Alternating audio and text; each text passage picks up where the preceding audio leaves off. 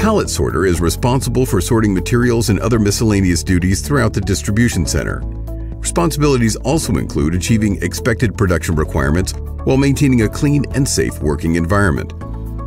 Hand stacking materials appropriately and following instructions. Loading and unloading materials by hand.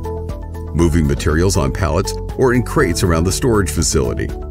Checking loads to make sure they are secure. Examining products to verify conformance to quality standards.